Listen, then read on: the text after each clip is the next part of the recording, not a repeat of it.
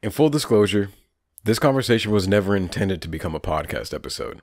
At the time of the recording, I had COVID. I didn't feel good. I probably didn't sound good. I didn't look good. But that's not what's important. What's important is the conversation. Justin has been a major part of the sign spinning lore and an even bigger part of AArrow's mythology.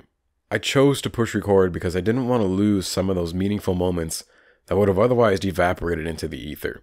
I feel privileged to have worked with him, and I'm humbled to call him a friend.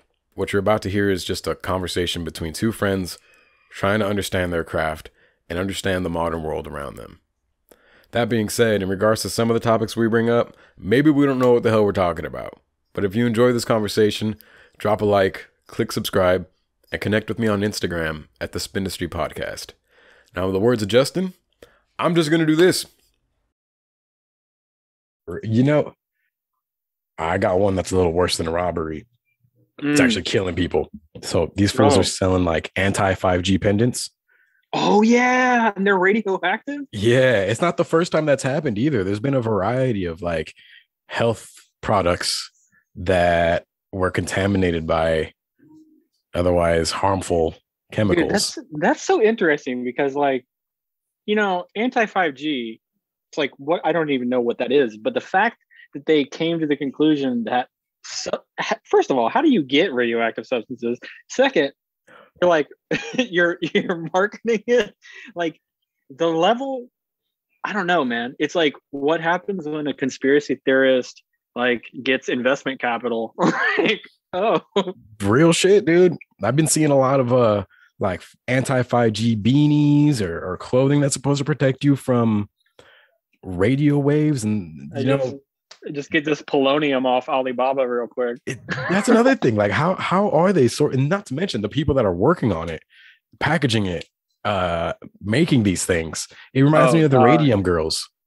Oh yeah, dude. I, I that is such a that's such a weird, sad, like yeah, And it's happening today.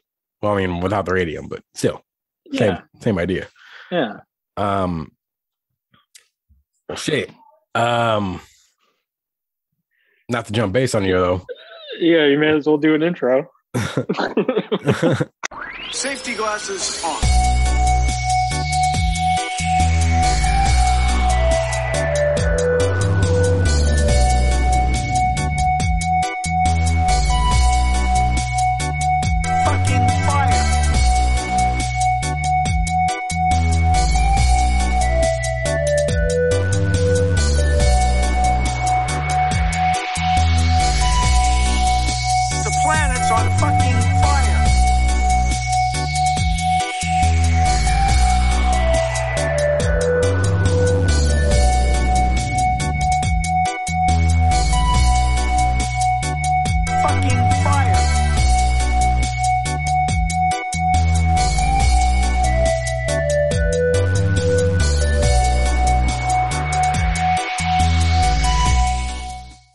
Kind of the reason why I wanted to get you on is uh because I, I don't know anybody else who knows the language of sign spinning at your level. well, that that's the that's the uh that was the first thing I did in 2004 was because before I started there wasn't um a a clear definition of what a spin, a flip, and a twist was. yeah. that that that was the first thing I did was like, what's the difference between a turn of the wrist and a twist of the wrist? Hmm. You know, like what's the difference between uh, this and this?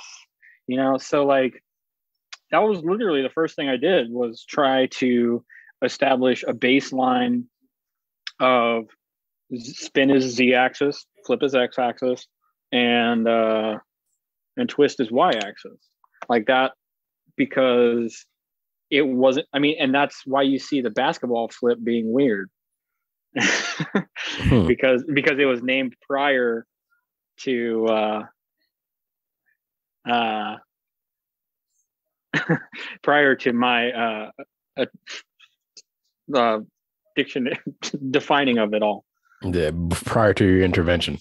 yeah yeah um so yeah and i think I think it's very realistic to describe sign spinning in terms of dance rather than visual art. I mean, people, it's like the general public has trouble assessing, like, the in a critical way, what art is, you know, and and how, like, and the underlying theory of all of it. And and like why why certain paintings can bring people to tears and why certain dances make people laugh and like uh and why certain sign spinning is more effective than others you know? Why why uh what the role of like you know for for music what's the role and in visual art what's the role of the rest what's the role of the negative space what's the role of presentation all of those things are like you know the absence the negative space but it's also some of the most essential parts to art Yeah, it's no more true than in stand-up comedy too. Those moments of Oh, yeah. silence are sometimes really important. yeah the the setup and and the explanation and the cadence like you know there's no discussion about cadence in science You know, it's interesting that you mentioned cadence because uh Jessica, she she actually said uh she was asking about timing and um what our relationship to timing is. I I I would argue that there is a, a small relationship to timing.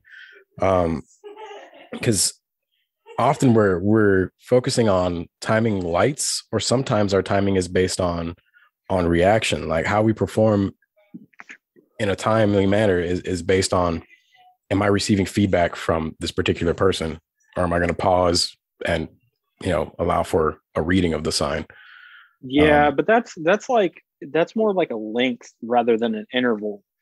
Um and I mean like you might and also like you know it's it's never been exact.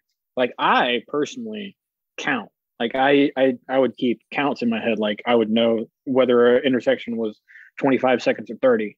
yeah You know? And I mean the crosswalk will will cheat for you, but like uh nobody's it's not it i mean and that's dude choreography? Yeah. There's there's a reason oh. that georgetown was the only choreography we ever did. Um she was calling our uh, our performances uh she or at least she compared them in, in the in her world what we do is comparable to a uh oh my god what what did she call it? Routine. An improvisational score. Improvisation score. Yeah where you can teach somebody like you teach the theory is you teach somebody like four or five dance moves right?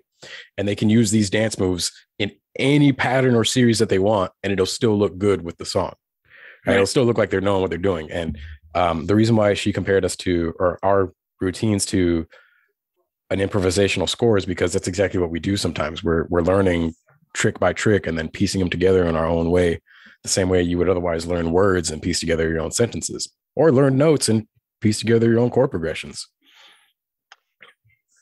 I i mean i just think it's been entirely underdeveloped uh i think that 90% of sign spinners couldn't spin to a beat if they tried fair the, the focus on regularity is out what do you mean um, about uniformity, about doing doing a trick the same way, the same time every time. Doesn't matter. I don't know. I I obviously I'm speaking from a um, one foot in, one foot out kind of perspective.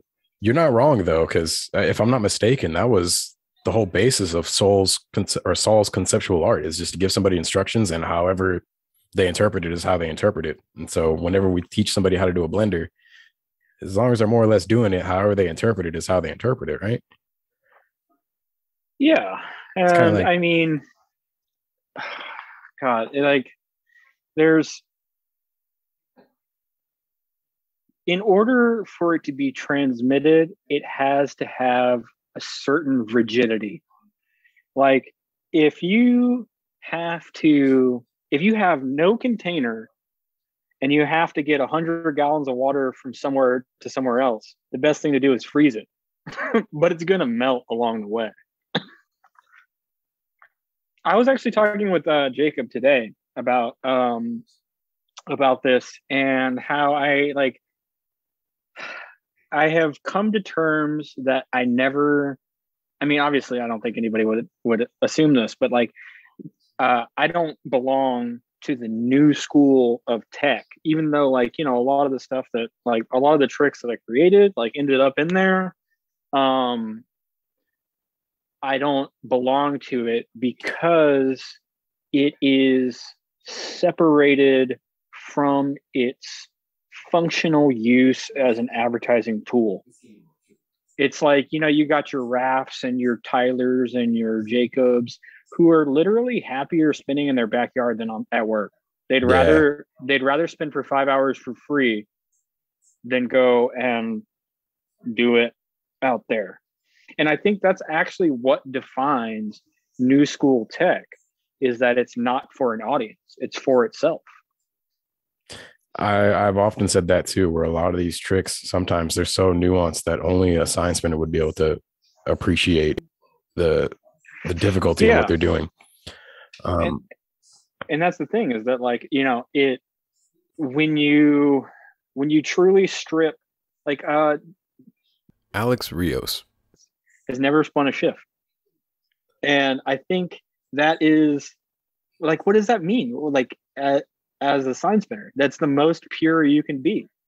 Like you have no concept of of doing it. Like you know we like i've only in in my 15 years i got one complaint uh which was at the the museum on Wil- wilshire i think. You know what i'm talking about? They did that uh animal poop exhibit or whatever. No. and uh it was about presentation. She was like he's not showing the sign enough. And i'm like you don't know what you're talking about but that was the only complaint i ever got in 15 years that i know of. And uh and so like when you are when sign spinning is separated from a client's expectation or a salesperson's like you know promising of what it is what is sign spinning? That's actually sign spinning. That's like subject verb sign spinning. No advertising. Nothing. Yeah. doesn't matter doesn't matter what's on it because they do it in the backyard. To like owls don't have credit. They don't go to they, they don't buy they don't buy gym memberships. Squirrel squirrels don't go to kb homes. So it's like it's actually the most pure form. And i re- i remember being frustrated by this. Like hey you're really good. We should get you out there so that these million dollar corporations can benefit from your talent. Yeah. and and it turns out that it's actually a much more pure form of expression when you do it for nobody. And so this is actually a relatively new development. I think i think it started uh i think it started in like 2015 or 2016 i don't know but uh I think there's like it's it's it's strange because like there's a certain alienation that like pushes people to just explore it on their own, you know? And somehow I think that that is leading the sport, not the sport, the art of sign spinning. I mean, and it's debatable. Like we've definitely engineered it as a sport competitors, winners, losers, teams, practices, all that. But Mm. was that necessary to run it as a business? Yeah. As an art form, as a as a means of expression that people can just find on the internet and do it themselves, it's a very different. It's a very different question, and we'll honestly never know. It's um it's definitely a recent thing. It's definitely a recent phenomenon to where people have found um I guess a new sense of freedom. It's uh it's interesting to bring it up the, the differences between spinning on the corner and then spinning at home because it it kind of reminds me of how skateboarding supposed to be traditionally a means of transportation. And somebody turned that into a means of expression through doing tricks, hitting lines, doing all kinds of shit with skateboard. Um, shit I that's mean, you not wanna- exactly. You want to discuss that though? Is is that is I, I don't know enough about it, but I seem to recall like you know Dogtown, Z Boys, all that hype from back in the day, like what 2013. Uh, it was an alternative to surfing, and it was like, well, we have hills, Mm, so I don't know. I, I don't know if it like obviously surfing isn't a mode of transportation. nah. Not but not boating is. Not not particularly effective. Nah. Uh, so uh, you know, Maybe the transportation's a side effect of the expression then. but then but then you think about what is surfing and like you know the spiritual like because people that invented surfing there is definitely some spiritual religious significance about it i don't think i i, I think that we like i think that there are people that still do it that way but it's like the the merging with the ocean like you're standing on water and it's moving you smoothly and you're just having a good time. Like there's something there's something uh organic about that experience. And then it gets turned to skateboarding. So they're they're kind of using that same kind of force to go down hills and then and then when they get to the bottom that's where the change happens is when you have to start pumping. Because there's mm. Yeah, from being at the mercy of the water to being at the mercy of gravity. yeah i mean like you know once once you take it away from its original that's that's really interesting because it's like once you take skateboarding you know as it was originally conceived going downhill you know because that was basically the first thing. Once you take it to a place like nebraska like it's completely like separated from its original intent and origin and that doesn't make it less valid but like I would argue that's how Rodney Mullen got it because he was just on flatland doing flat tricks, right? right and so it like opens up a new thing but it's also like it's you can't deny that it's separated from its original origin and that it has to like this thing finds a new origin like and and so i wonder if sign spinning is similar in that way in that when we take it away from the waves the street the, the cars when we take when we take surfing away from the ocean and it becomes skateboarding what what does that really mean what does that look like for sign spinning in particular It looks like epigenetics, where external influences are forcing the evolution of something. Um, in this case, uh, the lack of hills forced the evolution of skateboarding into flatland tricks. Um, man, the uh, I think sign spinning could be, or sign spinning today is a is an evolution of pressures. I guess like people are just taking competing more seriously. Um, are they I mean, at the rate that they're trying and the rate of innovation that's happening, I think that's the reason why we see so many backyard spinners instead of corner spinners. i mean you know like to be all the way fair pandemic like Uh, there, there, too. there there should be more backyard spinners right now like just Yeah. just to be fair to everybody it's not just yeah, we had two years to get good. yeah that's true but you know i have such i have such a skewed perspective you know being responsible for the creation of so many tricks like independently. And i can honestly say you know a lot of it a lot of it came from collaboration and working with people and like you know observing things about their style and like oh so you do this wrong? Well let me take that from you and do it right and call it a new trick.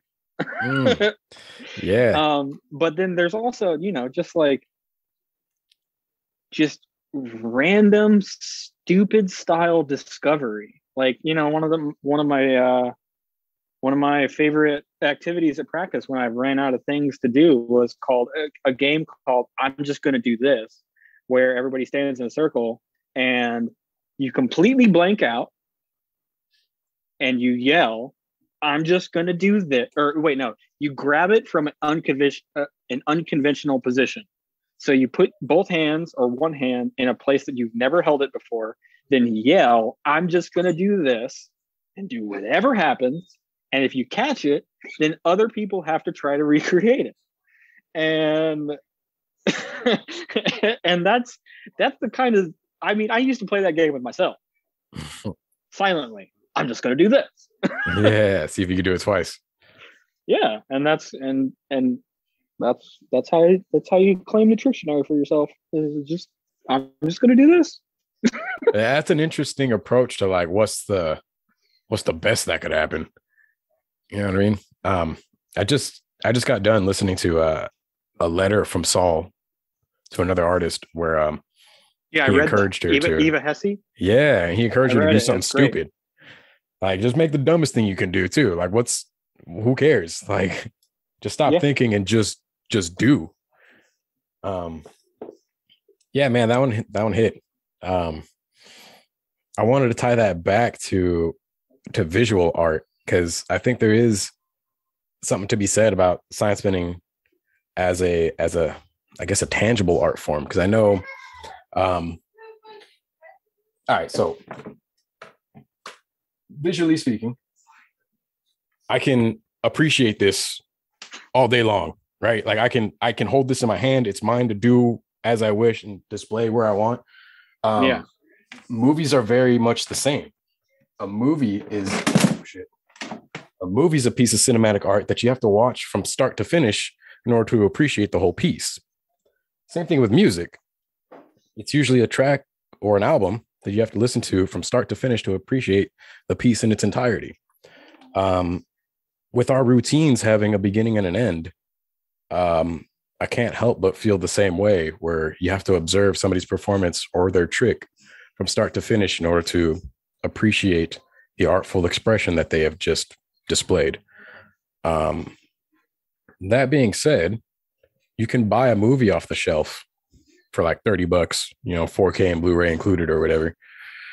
Um, in some cases, some of our spinners have also sold their art for a couple thousand dollars. Uh, the last world champion receives $5,000 for a 45 second performance.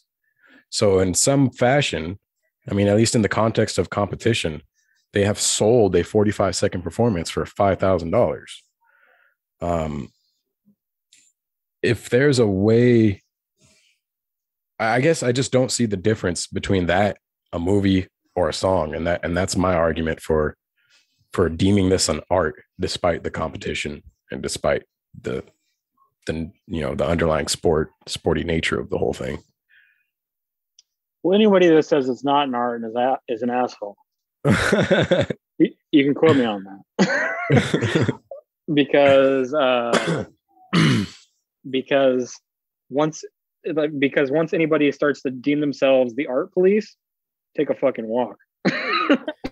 Real shit, man. like you know you could you could it's like one of the best things is that it's really easy to say this is art you know? You can look at a fucking cupcake and be like this is art. You can't look at a cupcake and say this is not art. It's like fuck take a walk dog. Yeah. like why? Why what what in the world isn't? What in the world isn't art? As far like for my visual art that i've been doing i have taken a real interest in stains Hmm. and i can show you watch this shit oh i can change my background uh because i think i still have it Your interest Yeah. in stains.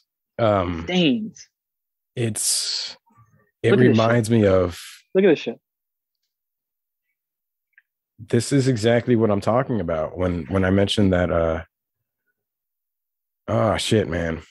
This is Dude, touching this- a concept I wanted to bring up. this is uh garbage water from a dumpster Damn. like you can see like this little curve right here is where the wheel the caster wheel pivoted on itself to move back into the dumpster area Wow.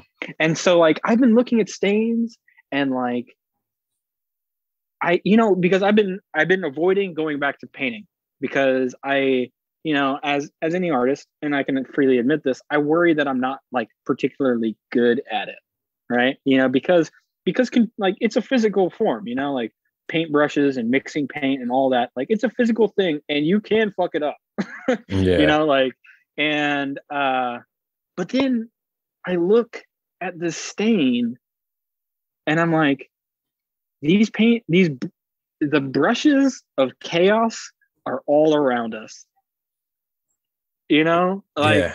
why do i even need to paint i could just take photos of people's stains color them and call it a painting like what's the difference Yeah. what's the difference the progress, right? Not not the progress, but like um the fact that you're moving from one medium to another is one of the things that I wanted to talk about in terms of like um oh shit man. Like the the progress of an artist right? It's it's they're fascinated by one thing they'll focus on it and then that might that focus might move them into something else in a similar way that a sign spinner might get stuck doing the same routines but then being stuck there or, or finding uh i don't know man. I, I don't i don't have the words for it but there's there's there's definitely something to be said about progress whether it's a sign spinner or a painter or even a musician because you can hear the difference between somebody's first album and their last album.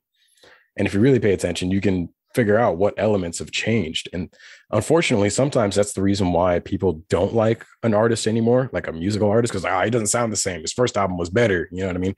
Um of course that's subjective but nonetheless i think that's a great way that, to document the progress of an artist where i don't it slip it slips my mind right now but there was one artist in particular that that stood out to me because he was painting he started off painting hyper realistic portraits. And then towards the last part of his career he like he just painted a black square and it sold for like millions. And that's just an example of how his attitude towards everything and not just his attitude but i mean it could his inspirations um his interpretations i gotta Everything. throw in there that um that the art world and the finances associated with it are uh, not are not based on artistic merit or value. Oh yeah no not at all. It, i mean well, so in this case it was subjective. Somebody actually appreciated that more than their hyper realistic shit. I guess that's where it, the value in art is how much is the next person willing to pay for it? Yeah. I um i uh, am on a so for all my music i'm on a playlisting website. Mhm. and sometimes i get reviews. You know they they'll, they'll you know most of the reviews are pretty good. S but sometimes like i i've come to really enjoy negative reviews because no matter how specific it is it always comes down to i don't understand this. Hmm. because if you understood it you you wouldn't say any of this shit. So my my joke explanation of this is music critics are like this is a really great apple but i wish it tasted like barbecue sauce. Keep it up. And you're like you just like barbecue sauce dog like yeah. Like, like and there's nothing wrong with barbecue sauce. I love barbecue sauce but i made an apple. So like either like take your like people people should be forced to contextualize their opinions but they don't. Nah.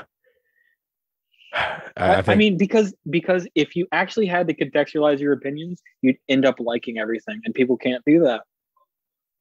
That's like, an interesting point. I realized that as much as I have trouble seeing the artistic value in the Island Boys, I love them because that is some absurd stuff, but they believe like they're there, they're putting themselves out to do it.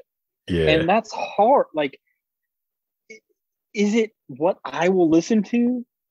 No, but I like people love that whole like, I might not agree with everything you say, but I will defend your right to say it. It's like, no, you won't. Shut the fuck up, dog. Shut the yeah we're not seeing that at all shut the fuck up.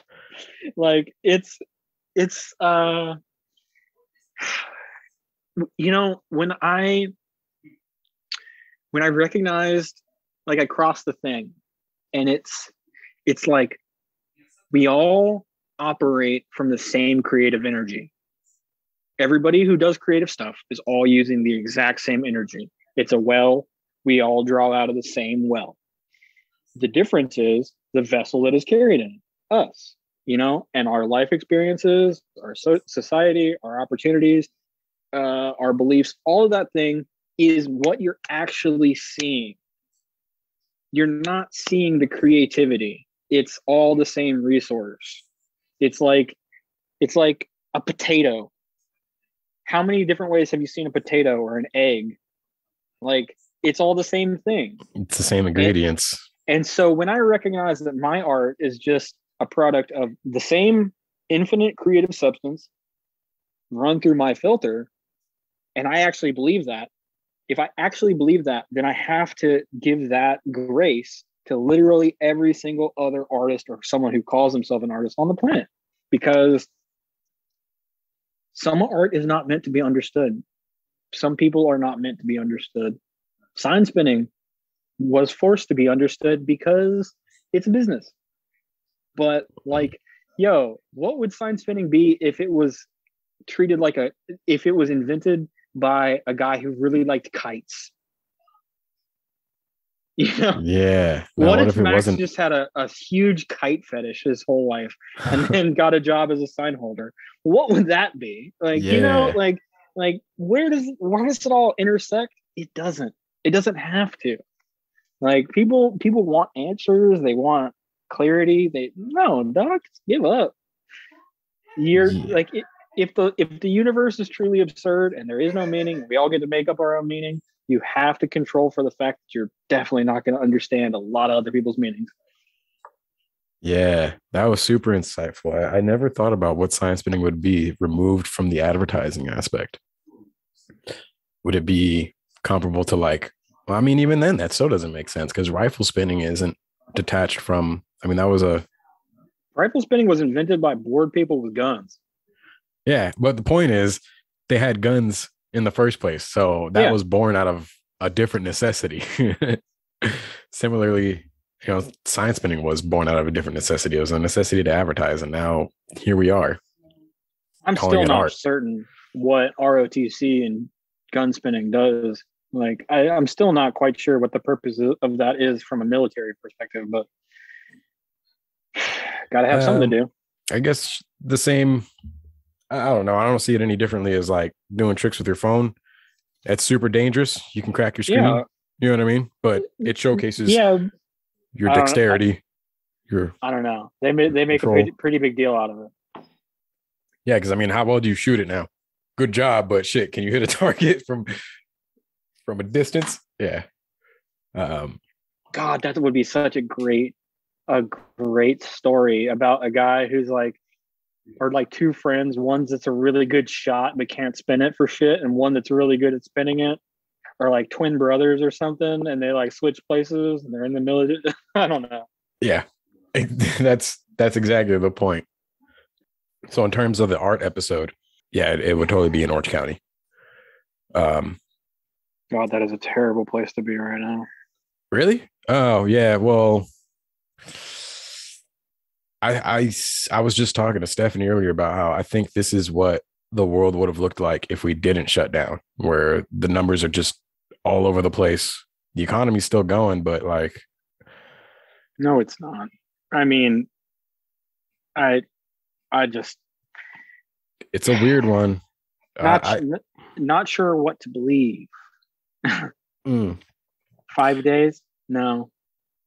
Oh yeah, Don't here we are, it. two years in. You know. Uh, Yeah, the more transmissible thing. Uh, yeah, four hours is close contact, and we only need five days. No, I don't buy that. I don't buy that. what do you mean five days? It's uh, the they shortened the quarantine period from ten to five days. Oh, okay. Yeah, that's batshit crazy. Because like for at least two of those five days, I I was like, I mean, I, I wasn't like fucking wrecked or nothing, but it's just like, like it's No. not it's not convenient, you know. like it's not the end of the world, but it's definitely not convenient. Like this is a super inconvenience.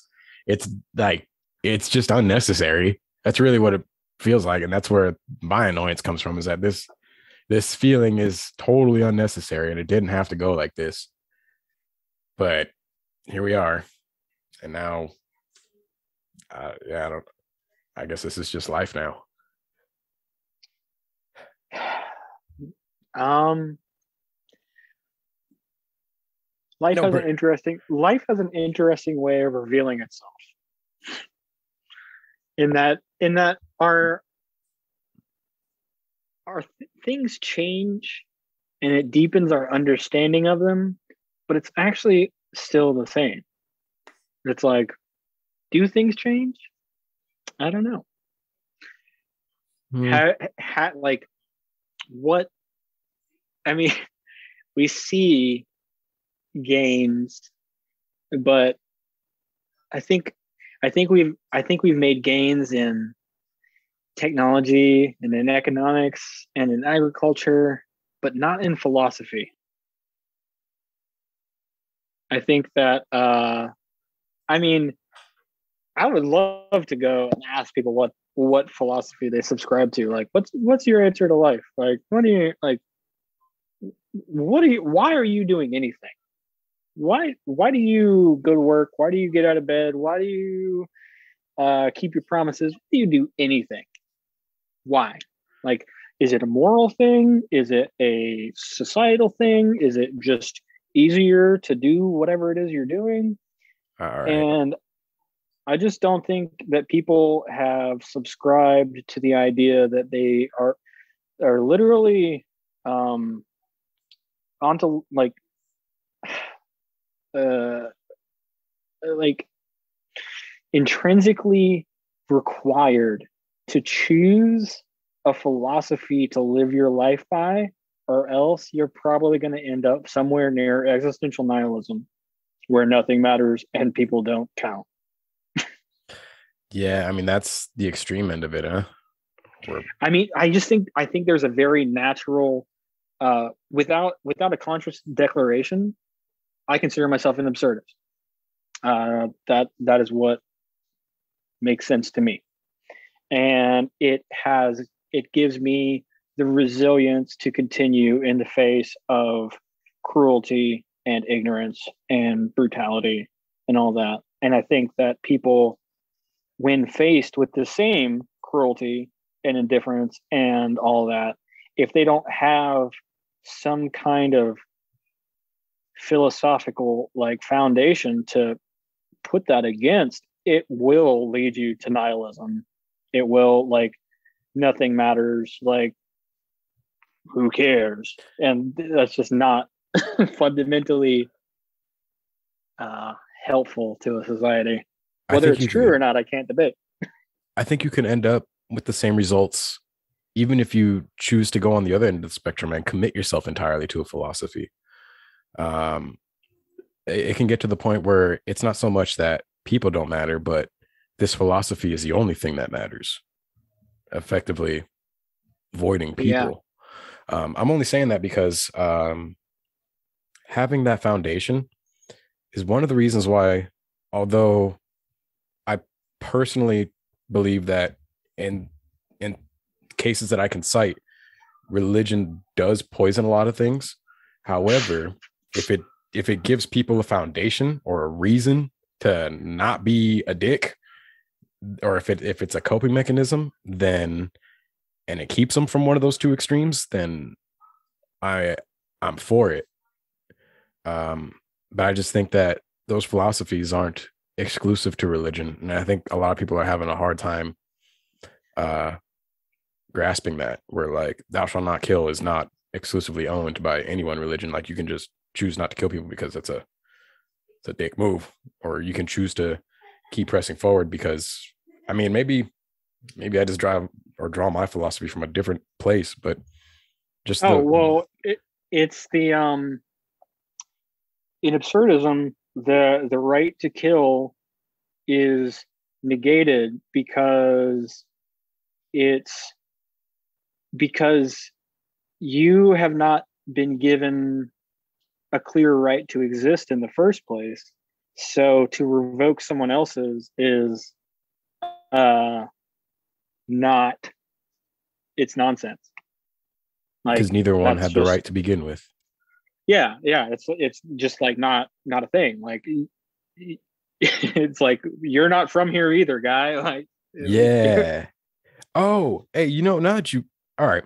Um I'm probably circling back a little bit on this one, but and you were talking about uh everybody's creativity comes from the same place.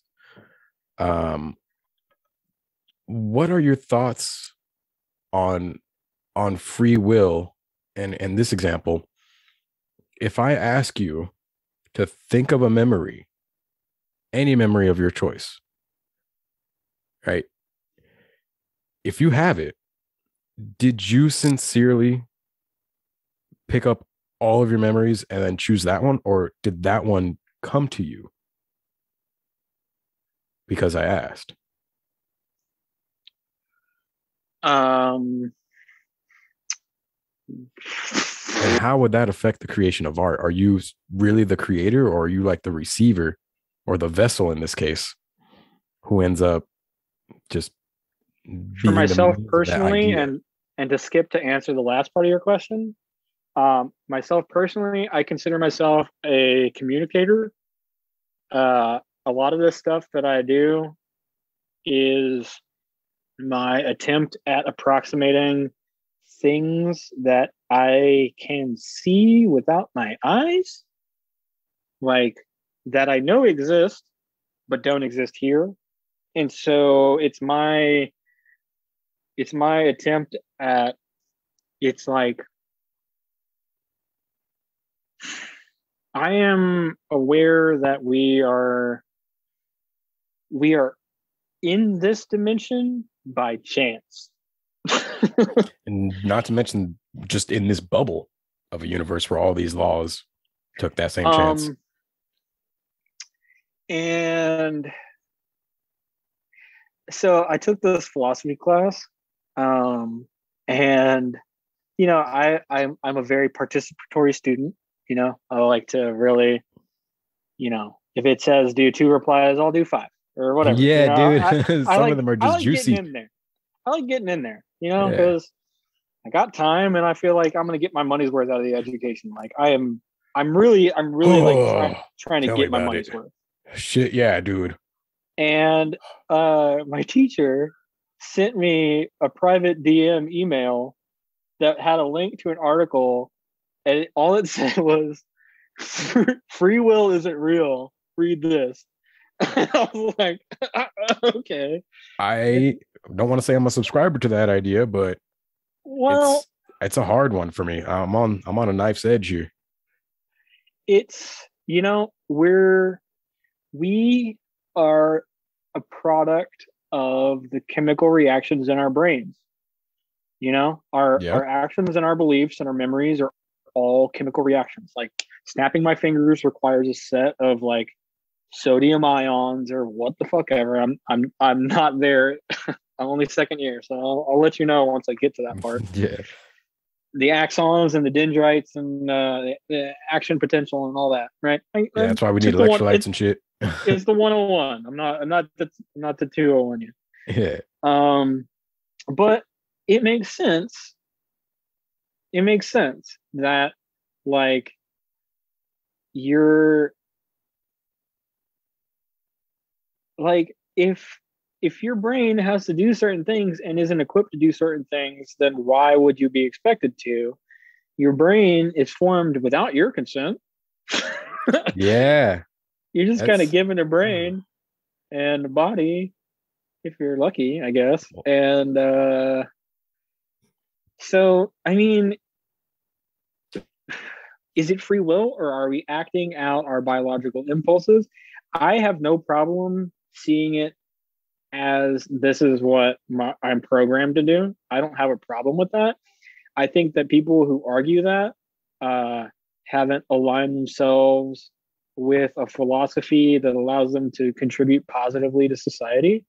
Because once you like, once you start participating in selfless acts and in like love and like you know helping others you feel really good about not having free will if you're fucking people over you want to believe that it was a choice and that you're not actually programmed that way Let me take it one step further. You were given a brain or a body without your consent. The one thing that I find kind of disturbing along those lines is that you're also given sentience and self awareness without your consent. It's almost as if our genes deemed it necessary for us to be this self aware in order to survive, despite the fact that plenty of other evolutionary chains have showed us otherwise. We don't need to be this self-aware or this sentient to survive yet somehow some way whatever pressures we'd faced it it made us this self-aware. Well i mean dude look at us. We're fucking sperms with arms and legs. It, that's the weirdest well not the weirdest but the fact that those that we can say that like we can I, acknowledge I know you i know you've seen the whole like comparison of a sperm cell and the spinal cord? Like the skull and the spinal cord? Bro we just grew arms and legs. But everything else that comes with it though is what's like the fact that we can even hold the discussion uh, about our thoughts on art is is really it's um I, I just don't know what free will is at this point because I don't know if the thoughts I have are all right. So I read a book by Dawkins, and he was talking about how your body, we are the vessels, and the genes are the replicators. And the replicators are the ones who are really in charge because they will make the vessel do whatever is necessary for it to survive and propagate itself. So, are all of our actions like, are we speaking on behalf of our genes or did we effectively own our genes? Because I know sometimes we're we're overriding our commands every now and then. Like whenever you choose to skip a meal, you're going against the commands of your genetics. see i think that's a point in favor of free will because yeah we got the whole dopamine system to encourage having sex but how does that explain meth addicts It's the hijacking of the sub the substance hijacks that right entire so like you know obviously like there's got to be some kind of interpretive choice here you can't be pro like you know you can have a predilection for addiction but it's not like it's not like people are put on the planet to smoke meth. Like directly like that that is like the the full purpose. People hmm. who use methamphetamine are people with like full lives and hopes and dreams and love and you know addiction's bad but it's not like that's a singular purpose. Even i mean even in the depths of addiction where it might appear that way it's not true. Mhm. you know? So like uh there's got to be some level of choice but then it's like this i mean we humans were created in a much simpler time where there wasn't much to choose from you know? Ooh, damn. So everything that we're experiencing might just be a side effect of where we're at now. yeah our by okay i'm gonna throw it out here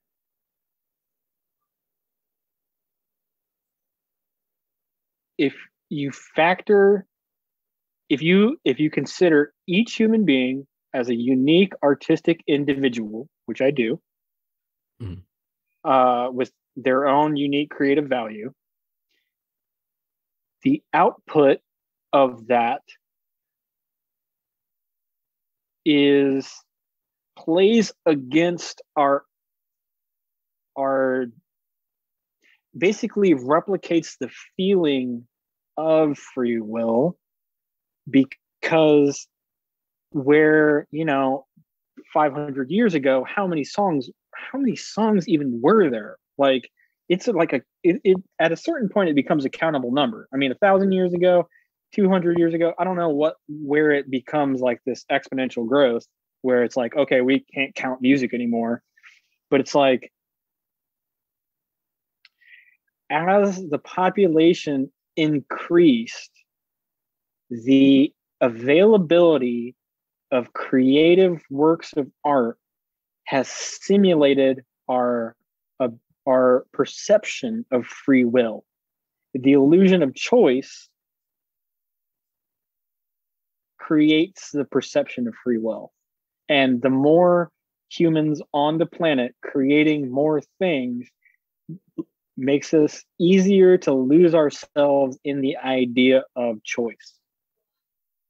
I feel it. I think Sam Harris has a similar sentiment where he's talking about uh free will is it's an illusion.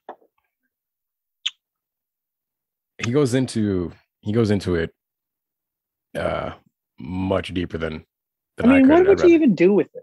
What would you even fucking do with it? Free will? It's like, okay, well, I'm free to make the choices that my brain thinks are best. Guess what? You didn't program your brain. Sorry. like, yeah. like what do you what do you want what do you want what you want is you want to be able to put all of your I- ideal beliefs and dreams and positivity and live laugh love all into a laptop plug it in your brain wipe your whole brain and then replace it with stuff that you chose. That's what you want. That would be free will. Guess what? We don't work that way. I didn't get to choose whether or not i went to sunday school and now i have a weird feeling about certain things. Like I didn't, you know, like you don't, we don't get, uh, we don't get to wipe the slate. So like, you know, Nietzsche talked about that shit, uh, and I wrote a song about it, about, um, uh, I wrote it so smart before, uh, the the modern system of morality is drawn from a, a it is it's the historical weight of opinion where thousand like hundreds of generations ago people made arbitrary decisions about certain things. Like i mean pink and blue is a great example. Like when did we make a dis- decision as a fucking species that pink is for girls? Like come the fuck on. Y'all are gonna re- and but like you know an arbitrary decision like that pink is for girls which i don't believe at all by the way i love yeah. uh uh There's a lot of like arbitration. Those, those things get it's like an arbitrary decision that leads to fuck. I read this book. It, it was like it was like it, it was a an arbitrary decision that leads to a tradition that leads to a custom and we're currently living in a society where you are rewarded based on how well you adhere to the customs of your specific culture That's spot on. It's interesting how many other things are, are a result of arbitration, like just the, the words that we say, the the particular noises that we assigned. oh don't do this don't don't do the what do words even mean how do you know what i mean when i say elephant asparagus bologna sandwich? Like how do you know that's nonsense? It's a great example though of uh of how we're currently living in that arbitration. Like this is traditionally english that we're speaking. Um it's, dude it's i so this- so i recently took spanish one trying I, i'm i'm so sorry california i'm, I'm on my way there. uh, but one of the most fascinating things to me, and obviously you understand this, um, is English is uh, adjective subject and Spanish is subject adjective.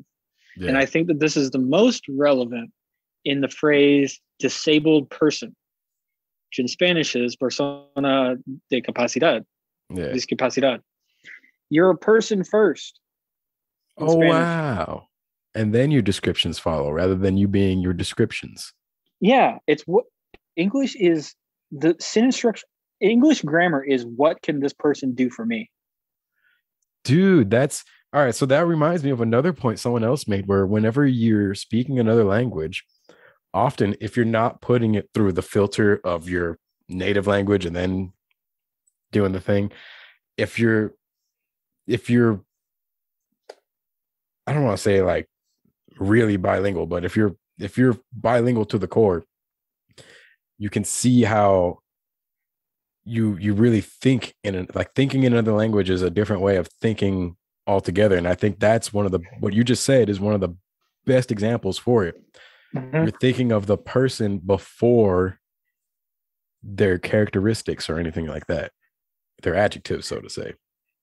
Yeah. So thinking I in mean, the language it- is powerful. it's clear as day in that specific phrase like how little how english is engineered to exploit people Wow, I didn't. ah, now, whether that's on purpose or not is probably another topic. Uh, I just Yeah. wonder if maybe that's just another one of those points of arbitration where it's like, well, we could pick one or the other, and uh, all right i'll take it all the way back uh divine right monarchism kingdoms uh Mhm. i rule this land because god said so Mhm. it gives you the ultimate uh like as a king you have the ultimate right to dismiss murder whatever anybody however and so people begin to present themselves is as why you should let me start with why you shouldn't kill me it's because i make a good ass bread like all right, yeah. So what they do is more important than who they are. yeah because are. being a person doesn't matter Yeah, it's divine right dude it's divine right the whole thing the whole thing divine right and then the people who set out like you know the american colonists were like you know what? Don't tell anybody but i'm going to be king. And everyone has that same thought and now we're all just an individualistic society. We're all kings of our own kingdom and we want to know what other people can do for us. But guess what? Divine right's not real. Doesn't that translate to like modern day capitalism? Like, what can this absolutely what can this person do for me, or what can I do for them? And then we have an exchange going on. no i mean that's that's the you know um settler settler colonialism is a direct i mean the doctrine of discovery it's divine right shit god said god said nobody would be here so what's going on like you gotta leave like Yeah, they said this house was gonna be empty, bro. Yeah dude. They got a classy name, they got a they got a classy name and everything dude. People already live here? Well that's inconvenient. Like no dude it's it's settler colonialism. It's all it's it's all based on the lady in the lake. It's like one fucking thing people just like felt so put off by the fact that god didn't pick them to rule england Yeah, that's why you know whenever whenever athletes or like musicians or actors, whenever they thank God for winning the Super Bowl or they thank God for their Grammy, I always feel like the uh the losing team could equally blame God. Like, man, it's all God's fault I lost the Super Bowl, or it's, ah, it's Yeah. God's fault I didn't get the Grammy. You know what I mean? Yeah, right. And then that's why people go start the XFL and shit. It's like, well, I guess if God's gonna make the Patriots win every year, I'm gonna I'm gonna make my own God and sports league to go with it. Like, you know, I it's all so linked. It's all so linked. And where does it where does it bring sign spinning? It's we've really mon like it's the it's the shortest path between creative expression and monetization. I'll tell I you was that. just thinking that. Yeah, it's the shortest path absolutely. there's there's nothing in between it. There's nothing in between. Just like because I mean, like you, somebody's. I I don't know. I don't know.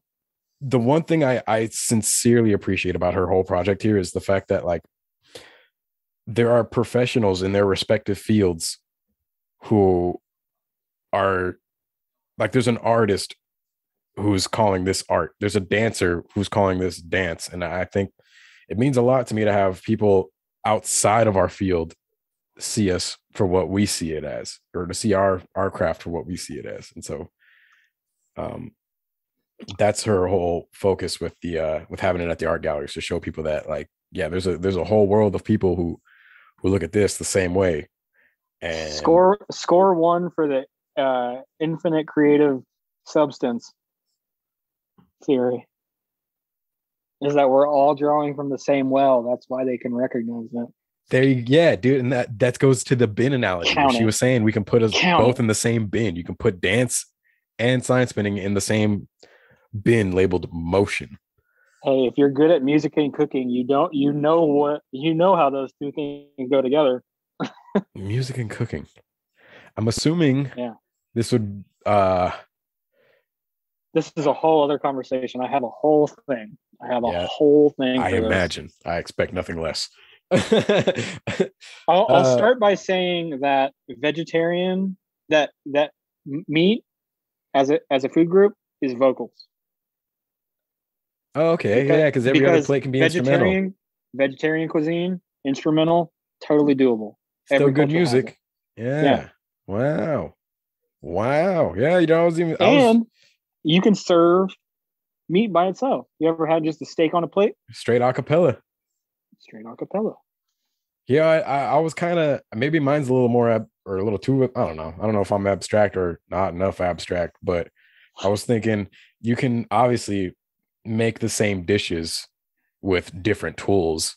It'd be like producing the same song with different instruments. Oh, dude, the the parallels are extremely real about how to prepare a plate, about how to prepare a dish. Both of them are com- are essentially you're composing something. You're putting a bunch of pieces together, big or small. And sometimes the pieces aren't even like big ass notes. They're just like little sound effects, and that could be the seasoning salt. Yeah, Oh my god, man. seasoning. It, seasoning is uh, the effect, reverb, delay. Delays, yeah. Holy shit, that's crazy. Cayenne Yes. pepper is your overdrive. Cooking What? is overdrive. yeah, dude. Shit, mean- man. There's so many parallels to everything. It's it's no wonder this podcast is happening. Yeah. Well, Um, NFTs. yeah, I wanted to I wanted to express one more thing on that because I think there is an opportunity here. Do you own F- NFTs? I'm making NFTs. Oh, oh. So I don't own one yet. That's not exclusive, but You're um, the sucky, not the sucker. yeah, well, I guess you could look at it that way. I was really, I just think it's all right. I'm not looking at it as a cash grab by any means, and I think that's where a lot of people are fucking up. Everybody's looking at it as like a sick ass, another fucking wave, another like get rich quick, another AMC pump. You know what I mean? But when you look at the the utility behind it, right? One example, it could serve as a medium of ticket sales. So if you only mint a thousand NFTs and each NFT is a representation of your ticket, that means only NFT holders would be able to attend this thing and you wouldn't be able to oversell the tickets either. You know, there's only a thousand and therefore there can only be a thousand participants. You can't clone them, you can't copy them. And it's it seems to me a really secure way to sell a ticket. The second reason, uh, let's say I sell you a car, we can have the title be represented by an or just NFT the title, right? And so when I sell you my car, I also transmit the NFT to you, which means you would be the exclusive title holder to that car or to the title that's associated with that car. And I think that's another means of uh I guess it, I mean it's called a smart contract, but it just seems like a really good way to to utilize NFTs outside of the cash grab. Because if my car is worth six thousand dollars, and I'll just sell you my title for six thousand dollars, and the car is yours with it. You know what I mean? Um, but from a more personal stance, uh, going back to a former world champion winning five thousand dollars for a forty-five second performance, if I can mint one of my tricks or even one of my rounds now I have a means of selling or or giving my my piece to somebody else. I got a bro- I got a bridge in Brooklyn that you should look at. I, I, I'll sell you this bridge in Brooklyn. it's it's a little different though because um this is those are just you can obviously take photographs or, or screenshot whatever you want but in this context i don't see anybody in the nft space. Uh, i mean again selling a piece of art is really cool. Like um for example if i had an nft associated with this one this piece to say that i i do in fact own this one this one like for if it was a car right? Like if there's one if you want it. I get that, but like, like if you if you have a Ferrari and there's only one of 300, you have a little badge on the car that says number 100 of 300, right? And so the NFT would serve a similar purpose for that. Um, I've seen artists do that with glass too, where they'll put the QR code in a little marble or a milli on their glass, and you can own the piece of glass and the associated NFT with it. So you scan the NFT and it's a pic. It's it's an image of So you can take it. you You, can take it home with you. yeah. So it's it's associated to something tangible. It's like a certificate of authenticity in this case. Um, but with I don't see anybody in the NFT space. I obviously they're selling art, right? People are selling art projects like one of ones with an associated NFT with it as a as their certificate of authenticity. But I don't see anybody in the NFT space doing that for art in motion like this, like for sign spinning. Because I have seen somebody mint a music video. I've seen people mint songs where you're the exclusive owner of this track. I mean, obviously you can rip it, but you own the NFT associated with that. Like it'd be like um oh shit, that album that Wu-Tang made. If you Did have a certificate of they made a, an album Yeah, no, I know. Martin Shkreli. Yeah, he bought it, but did Yeah. they? What do you mean? I've never seen it. Well, that's that's that's the exclusivity of it. Is is the fact that only he can play it, only he can listen to it, and if he chooses to s- distribute it afterwards, it's no, the FBI got it. really. Oh, that's right. As part of his shit when he got sentenced, it was Yeah. uh they they like took a bunch of his assets too for uh Yeah, because of the cool. amount of money that oh fuck cool guy. yeah. I Cool guy. forgot about that, dude. I was so focused on the fact like the one of one and like the certificate of authenticity with it. Just be really cool. The yeah, now the government owns it. So- yeah. So, uh, does the Wu Tang feel good about the FBI owning their only version of that album? Probably not.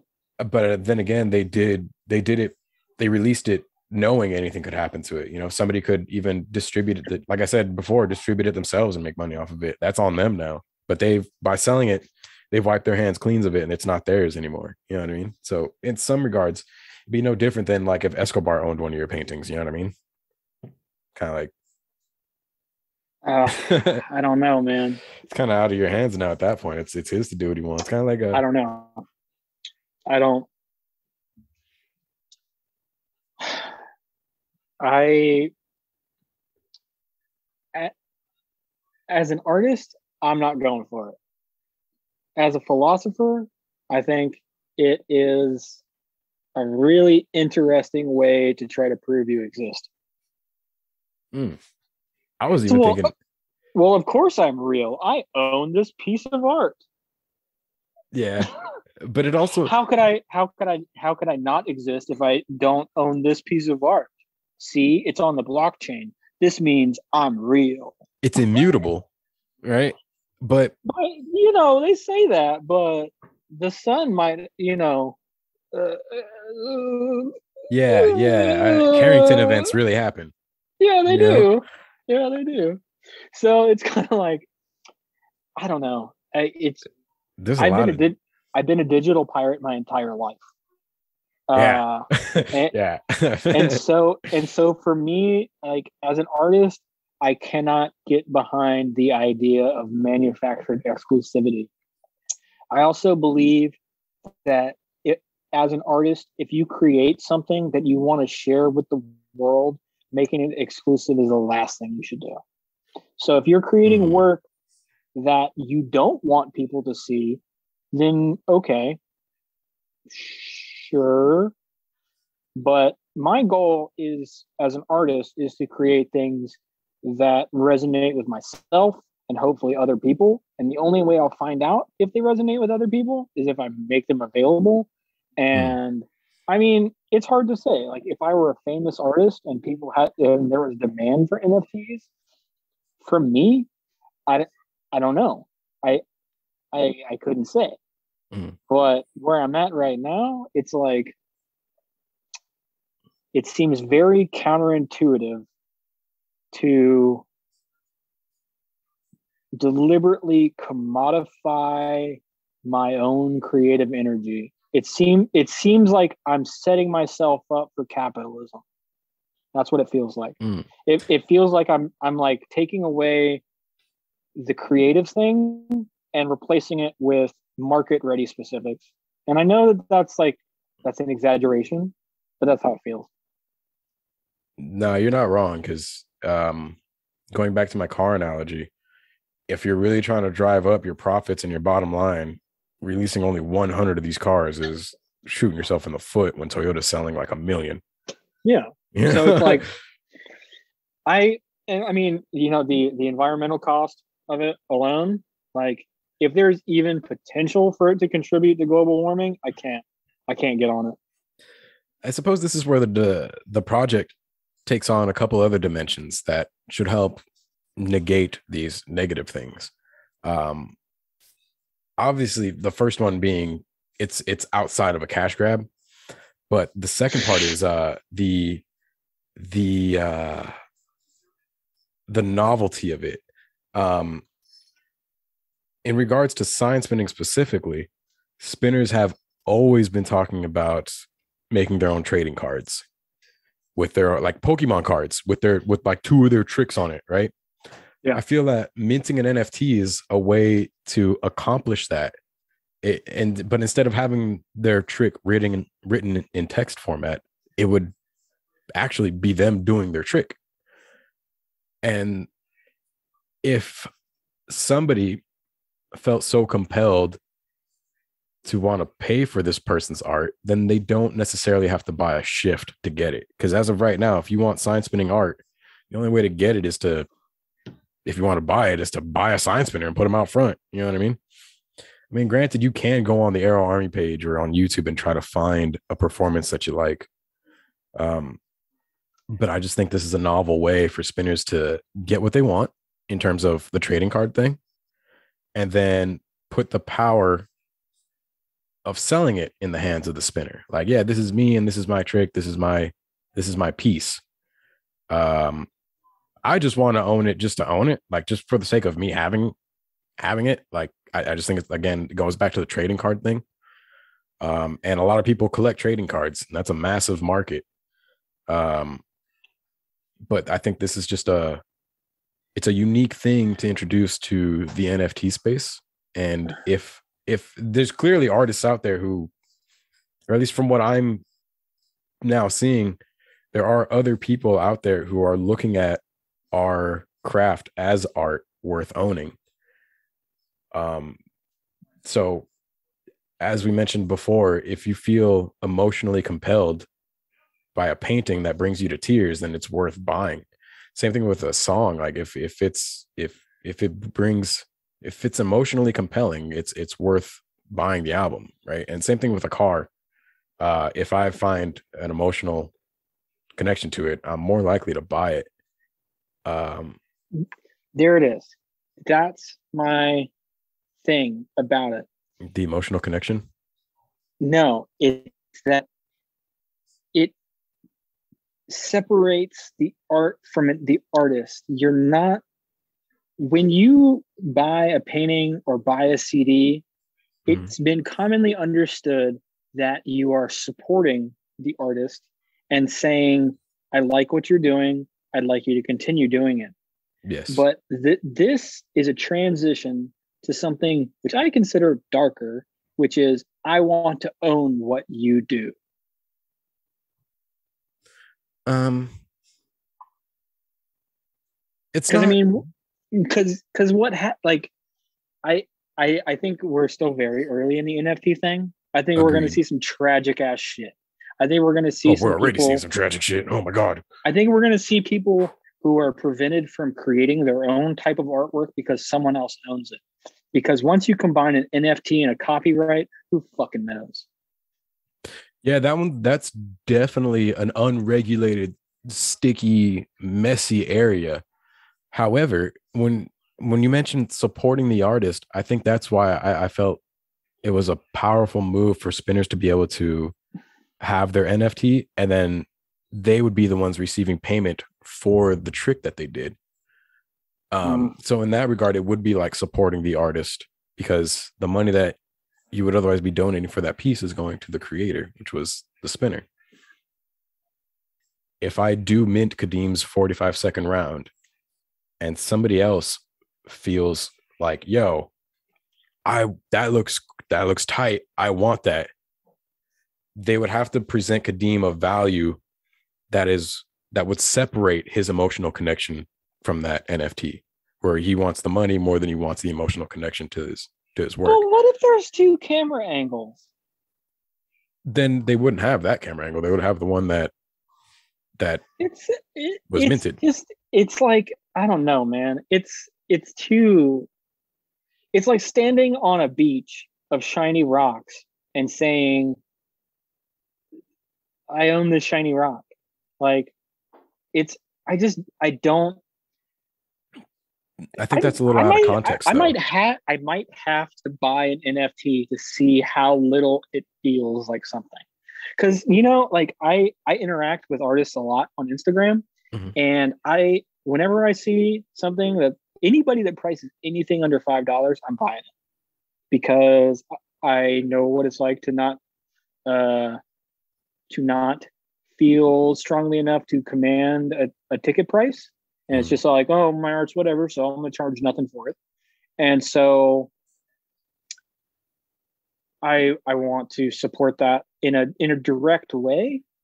And i don't know man. It just seemed it's like would you feel the same way if visa like i- if like visa announced like a oh you can you could sell art through this visa debit card program and we'll own the we'll maintain it and you get a debit card with $60 like would and i know nft like i i, I am not an expert on crypto or nfts at all. I don't i i tangentially understand it. Uh i know that it looks to me like a lot of opportunities for hustling uh, yeah. to take money off the books, which you know, as as a former criminal, like I I admire, but yeah as easy current- laundering. as a as a current upstanding citizen, um, I don't. I I just it's just like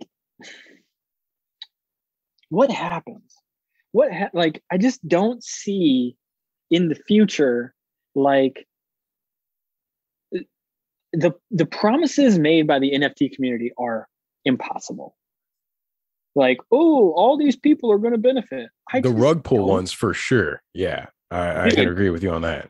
dude and i mean it's just it just seems like a honeypot to me it seems like and i mean by the way you're spending like it's the fact that it's a fluctuating currency and of course i understand all currencies fluctuate but it's like Yeah. there's there anybody sophisticated enough like who's got a good handle in wall street bets and who's got a good handle on fucking in in you know if if they're like notorious but also like you know they have three different personalities one on reddit one there one there you can do some massive market manipulation with just one person. And so like the nft Mhm. game seems like it's an opportunity for each person each hustler to step up and play their game for the day. Some people make money. The person doing all the all the gaffling is definitely going to make money. And the people who like put their art their heart their like creative vision it's it's i think it's di- it, it depends on how much you care about what you make I think this is comparable to the internet because, as you mentioned, there are a lot of sinister actors out there, Hell but there's yeah. also a lot of uh, there's a lot of opportunity for good here. Um, The internet is uh, probably my favorite example, just because the internet can be used for things like human trafficking, but it could also be used for things like um Stopping human trafficking. yeah. Yeah. Yeah to summarize it yeah.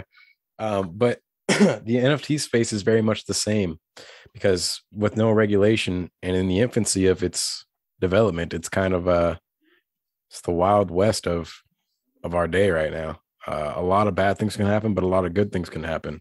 It's a road that hasn't been traveled enough. Um i don't think it's all bad there's a lot of um, no, no, I don't think like it's all prescriptions, for example. If you had prescriptions on a blockchain, nobody could falsify a prescription anymore. Right. I, I, dude, I think I think the idea of blockchain and cryptocurrency is is excellent. I think I think decentralizing currency across countries and like just throughout the world is a is a great idea because countries are made up and borders aren't real. Mhm. So we may as well all use the same money, you idiots. But- oh, that's where. All right, you just made it click again. Um, there were like three fundamental things that make for good money, and one of them is stability. And the fact that crypto doesn't have any of that, uh, that's one of the things that turns me off as as a as a medium of currency, right? As a medium of money. However, as a medium of exchange, I think that's that's something worth exploring. Yeah, but that's such a weird thing because it's like, you know, okay, so I know that I need to buy uh two pallets of shingles for my house, right? Mhm. And I know I'm going to use Ethereum coin, right? I could wait until the value is it doesn't have to happen anytime. Sometime in the next year I got to buy these shingles. I could wait until the cost till the price is up so that I can spend less coins to get the shingles but that leaves the shingle seller like they're just to have to take whatever I choose to buy. Like it's like, or they could say no, like we're not selling it under 0.2 or whatever. You know, it's like, and then we all just come back to like if if crypto was audit like today, tomorrow morning, cash wasn't real. It was all replaced in our bank accounts and wallets with cryptocurrency. We would our buying habits would be very different. I would like wait. We would all wait to go to the grocery store until it's like it's like it's like how people act with gas prices now. It's like, oh well, I'll I'll wait to fill up because it's high today. It's like it just makes it so. It's like office space. It's like that program where you can siphon off the fraction of a penny every day. Yeah. It's like, I don't know, man. I, It's, it's not that I have a choice. It's just like I know this shit is jacked up. And like as someone who personally believes in like positively contributing to society in exchange for something I can use to get the resources I can need, you know, like should that change every day? Like if I work for 15 years every day and I store that money, should that change a year later? Because it already does though. And dude, never in our favor. the way our, the problem with our current economy, the way it works, is it forces spending as of right now because thanks to inflation, even before hyperinflation, but just thanks to inflation in general, we are forced to spend money today because it won't buy us as much stuff tomorrow. shit. So that's already that 500 grand you put away for retirement is already worth less when you retire.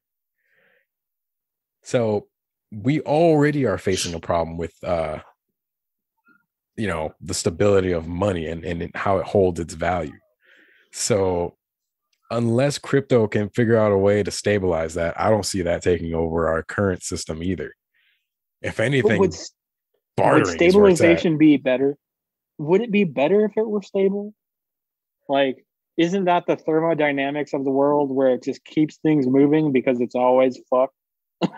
Yeah, I guess entropy kicks in at some point, huh? Yeah. Anything that is ordered will eventually become disorder. That's an interesting know. point. Well, that's uh that's my two cents on NFTs. I just thought it was a great way for to put the power back in spinners and let them own their craft. Like let Kadeem own his Jamaican Me Crazy. And if he feels Dog, if you want to do that, just turn sign spinning into Uber and let them fucking take the cost. Oh yeah, okay.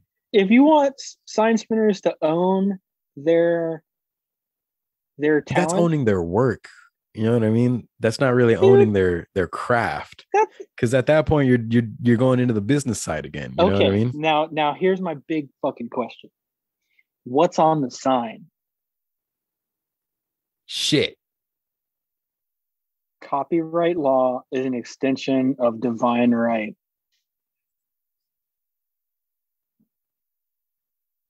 The lady in the lake said that I own this. Fuck you, pay me. I gotta look this up. um It's it's an extension of divine right, dude. It's like, you know, I I've been putting my I've been putting my art on Instagram and Facebook and all that for a long time. And I've already come to terms with the fact that at some point I'm gonna find a dummy account on Instagram with all my shit. And it's gonna make me mad, but I'm also prepared for that because that is the nature of the internet. And it raises the question Do I own my art? Do I own this song? If you really believe, like I do, that my art comes from a place beyond my existence and that I'm communicating it, Oh shit. I don't own it. I get it. I The get artist- it now. The artists don't own their art. We don't own anything.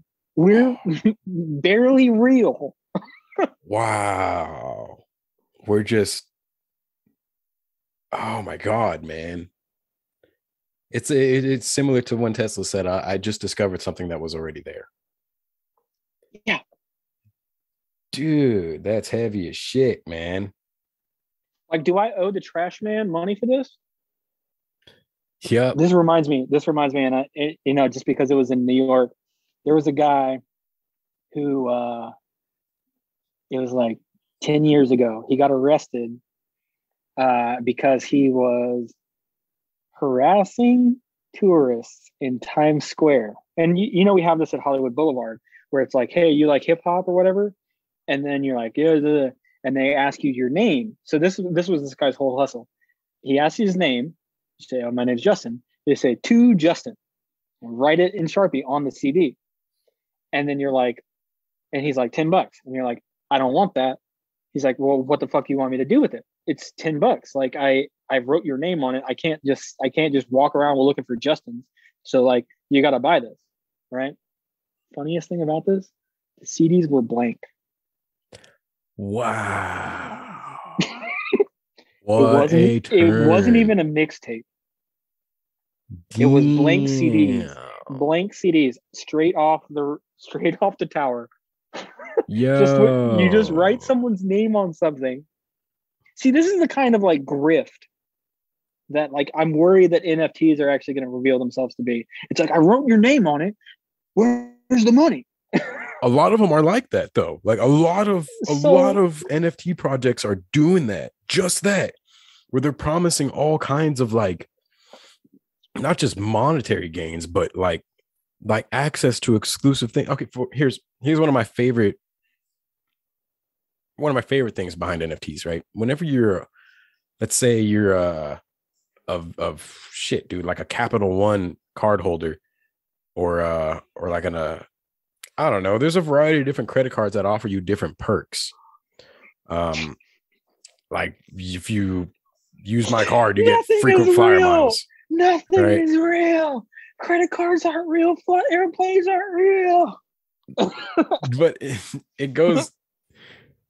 It, it kind of that's the utility that I, I I enjoy about it is is if you hold one of these NFTs, you're given exclusive access to certain uh certain markets or certain events, right? Like certain pop-up shops or It's just an example. I mean, it can go further than Because that. because we have listed you as a debt uh, debt asset on our ledger, you can come see Counting Crows play a show.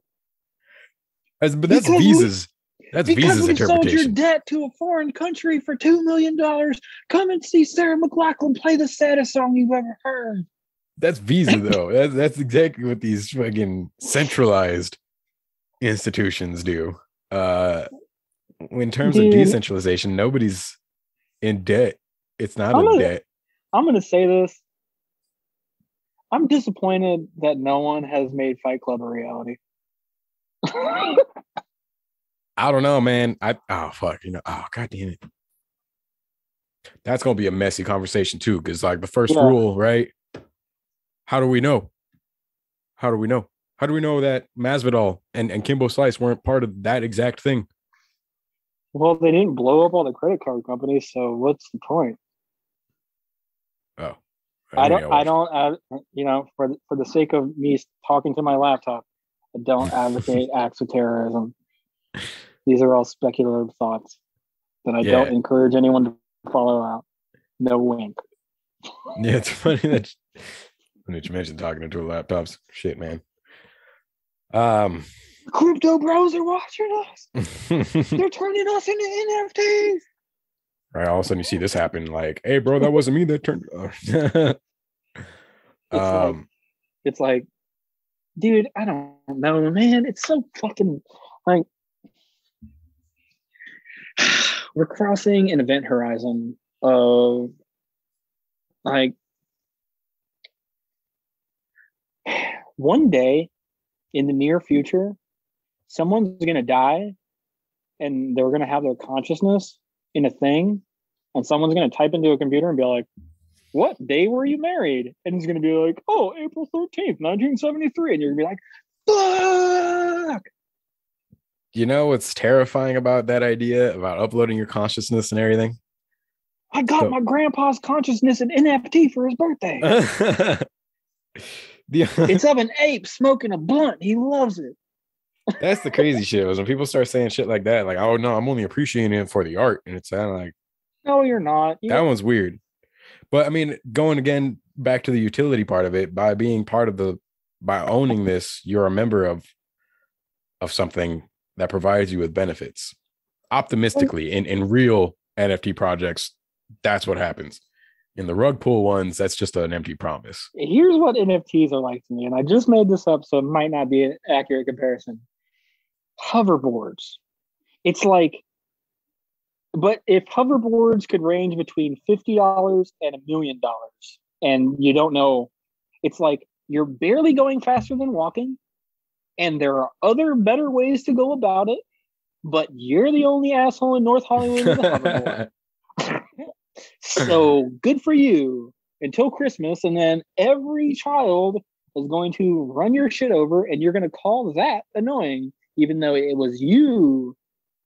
It was you. You were the ones that brought hoverboards to North Yeah. Hollywood. i think this is just uh this is another Dog, It's it's just like I don't.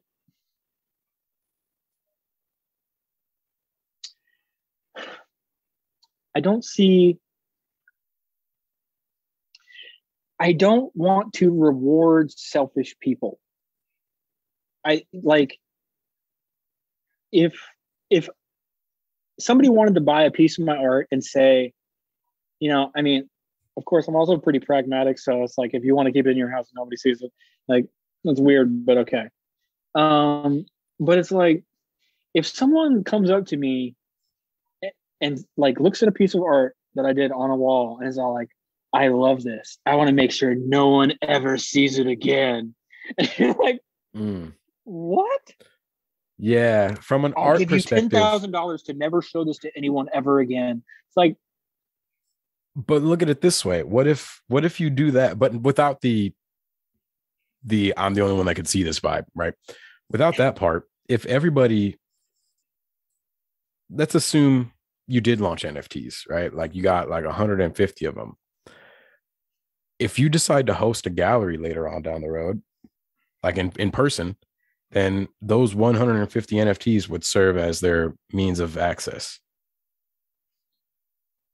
Instead of that being like, well, I'm the only one that can view this. It's it's not about I'm the only one that can view this. It's about I have proof that I have supported this artist, and now this serves as my means of entry. I I have real for myself personally, I have very strange I know, I have a very uh disconnected sense of ownership to my art. And that I'm proud that I made it, but I'm also aware that um given enough time somebody else probably would. And I don't know. I, it, it's it's not like th- when you consider that the the probability of our own existence is so so infinitesimally small that we are in this place right now having this conversation that you know it's super small it's small to the point that i think that it could happen twice Given all right, shoot. Um given enough time, it's perfectly possible. Just because something is implausible doesn't mean it's impossible. For example, under no circumstance, as of right now, I can walk into my front door or fuck the door of this wall. I can walk into this wall for all of eternity. Right. And for the most part, from our point of view, it, it's a wall that I'm just going to keep hitting my head against. However, although it seems impossible that I could pass through this wall like a superhero, uh, it's still a non-zero number. And we know this because quantum tunneling is one of the reasons why we see sunlight. Um, of course, I'm scaling this up by a, a Yeah. huge factor. But the point is, the only reason why quantum tunneling happens is because it's an improbable event that happens over a long enough period of time to where it, it finally does happen. And so, with this whole wall analogy, if you give it enough time, I will, in fact, teleport through that wall in the same way that this event could happen twice. If you give it enough time, it I- it'll happen. it's just so what do you like i don't know nfts so it is a funda- fundamental belief of mine that the only universal human desire is to confirm that you exist living is not a universal human desire. People kill themselves all the time. So Right. that's not so but in the instance of suicide, by killing yourself, you do prove that you existed because now you don't. Oh, yeah, that's an experiment to confirm your existence too. Yeah.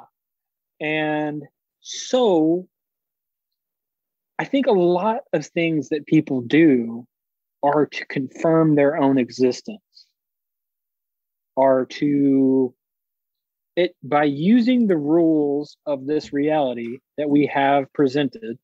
You know, like if you eat something, it turns into poop. You know, what would you do if one day you ate a full meal and it didn't? It was just shoot up food. And it did that every day for the rest of your life. Would you like what would you do if every time like you know like what if what if you felt like like what if what if somebody like one time one time in your life reached through you like and put their arm directly through your chest as though nothing was there. You spend the rest of your time you spend the rest of your life wondering about that happening.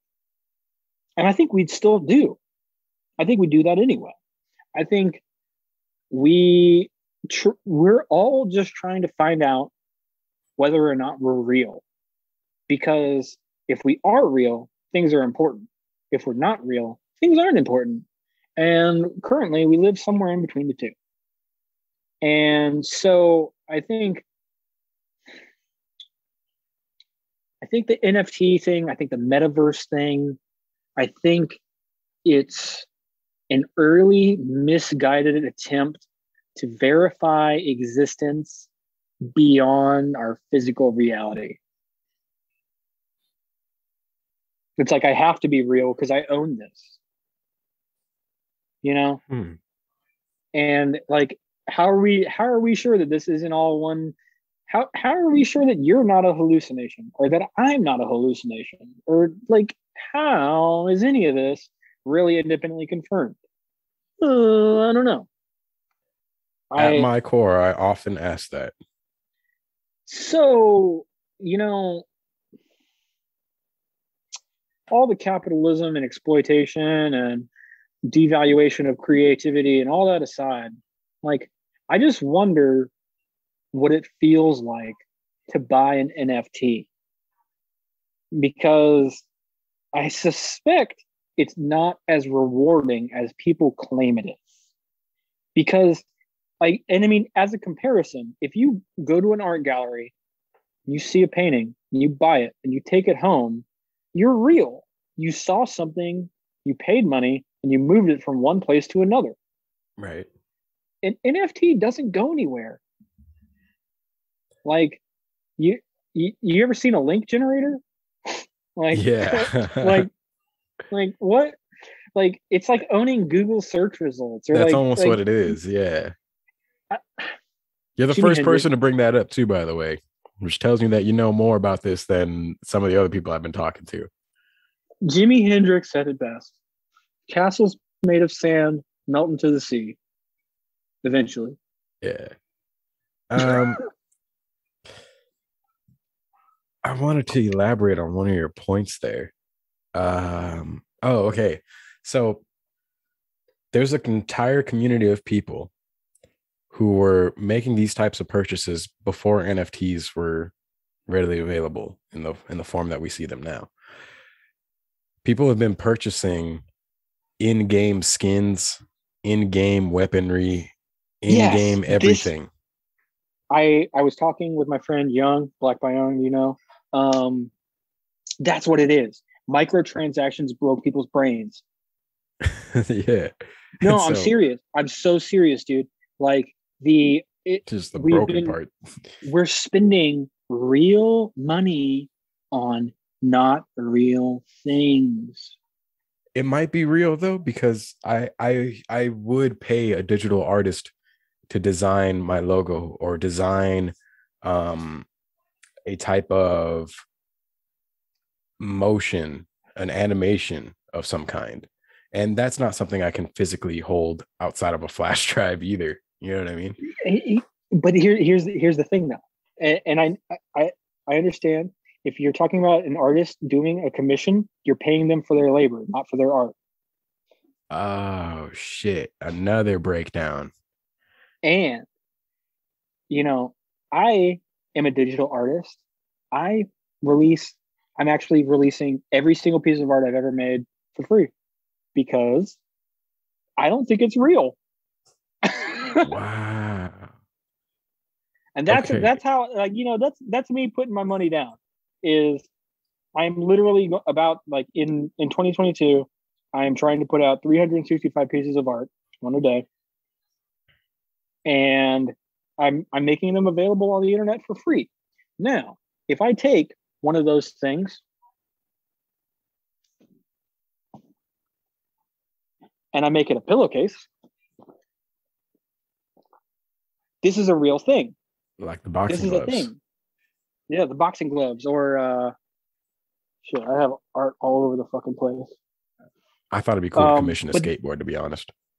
Like This deck. is a thing. This is a physical thing yeah. that's worth real money. This picture, it's cool. I love it. It's one of my favorite things I've ever done. Not worth money. But it's not a thing. It's a I I It's think an- I get what you're saying. it's an abstraction. It's a representation of a concept. Concepts don't cost money. Now taking what Can you, just imagine if said- somebody can you imagine if somebody was all like, pay me twenty dollars to understand how fucking the mind body problem works? You'd be like, okay, what is this, college? But um but it's a concept. You can't own a concept and you can't sell a concept. I can sell pillowcases. I can sell canvases. I can sell prints. You can't sell a concept. It's like this that dude that sold the Brooklyn Bridge a bunch of times. He didn't own the bridge. Yeah. That's uh that goes back to um I wanted to mention this at another time in our conversation because it, it was relevant, but now it's relevant here too. Um ideas. They we can all agree that these are they are real. Ideas are real. We we do get Biochemical reactions, yes. yeah, we get strokes of inspiration that we can articulate and, and convey to somebody else. It's a thing, right? Oh, here's an example. A religion is a thing that isn't under, I mean, outside of Bibles and establishments and architecture and shit. It's a it's an idea. These ideas, the things that get oh man, I might go I might go on a little bit here. The, the would say- term oh go ahead. Yeah. Well, no, go ahead. The term meme, do you know the origins of that? I know it was coined by Richard Dawkins. I know that it was used to um, express complex ideas in simple formats. I don't know anything beyond that.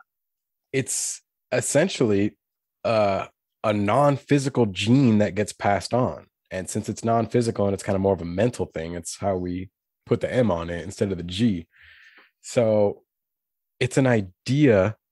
It exists, but you can't hold it. It's something that's not tangible.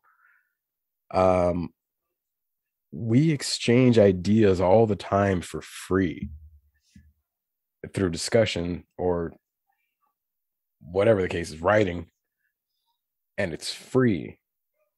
So Art. I, yeah. So I, I, that being said,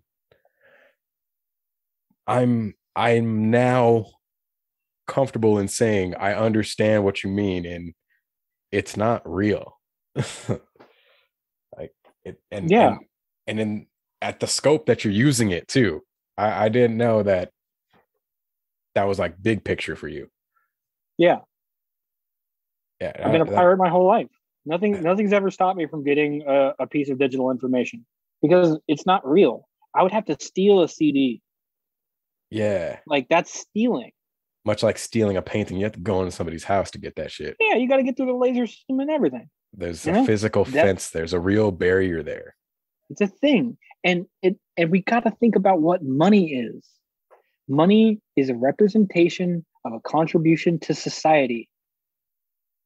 Money should be used as a badge that says, "I did my thing for everybody. Now, can I have some fucking tacos?" And they're like, "Great. What'd you do?" Is like, "Oh, I swept up the hospital." It's like, "You're fucking great. Here's some tacos."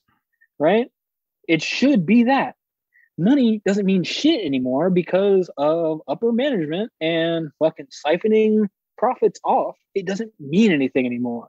Nobody has a trillion dollars. Elon Yeah. Musk doesn't have a vault, a Scrooge McDuck vault. It's not real. So all his not real money can buy not real shit and it doesn't mean anything to me. Yeah. In in terms of money, it, really is a it really is just a number now. You're you're Doug, I, I put a hundred dollars in Dogecoin and now it's worth two thousand. That doesn't fucking make sense. Nothing changed. Nothing fundamentally made it work better. I guess they did start taking it at Oakland athletics games. So, but uh, it's it's like digital art and digitized art isn't real. It's like it's like saying it's like saying uh the monsters in movies are real. They're not. You only it's a two-dimensional representation of a of an idea of a concept and you know, no matter how believable it is, it can't come into the real world. yeah. It's not there.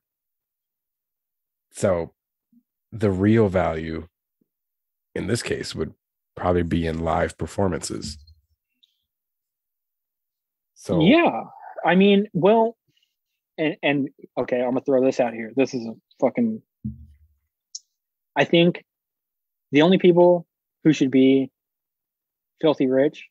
Like I think the wealthiest people in the world should be artists and athletes. But athletes are kind of a physical art anyway. So, but the fact that people who control computers and computers control money, those are the people that have the most money. Ugh, no shit. yeah. but like, yo, like, okay, Beyonce or any of these like multi-million dollar performers, every single one of those people shows up. And I don't think any one of those people would say that a hundred, like they spent $180. I don't think any of those people would ever say, I didn't get my money's worth.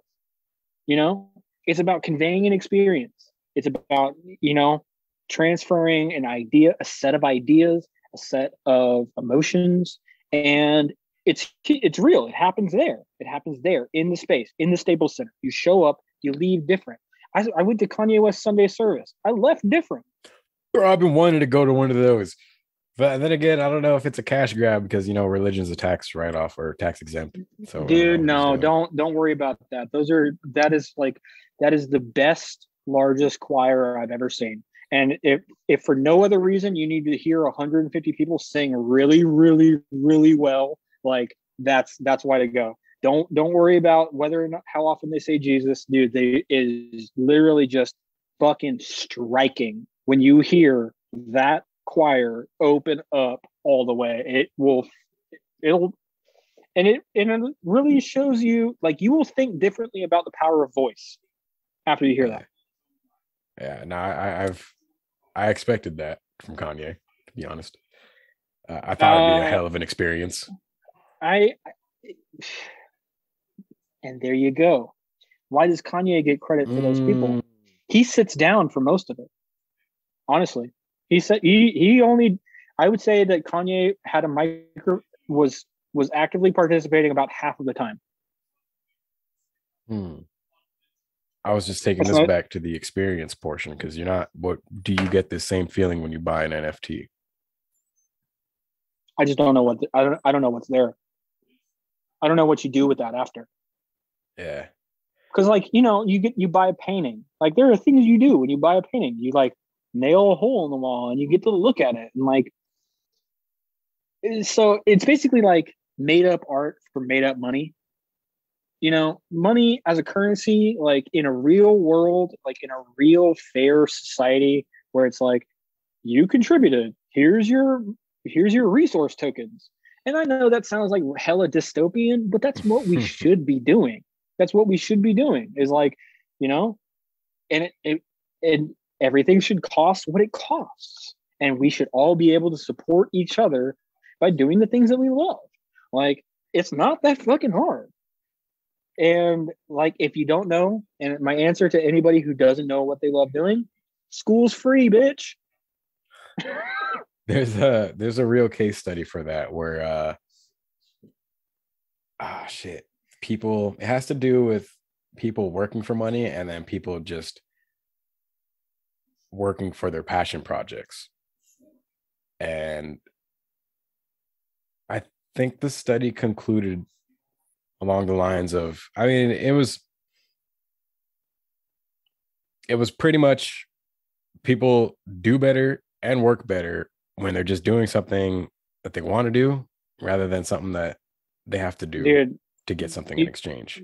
there's there is no study that needs to prove that capitalism is fucking evil and that like dude there's no there's no reason like can you imagine what it would be like if a company was actually like the worth of the company was just a sum of all of their employees net worth? This is this is uh can you imagine? Can you imagine?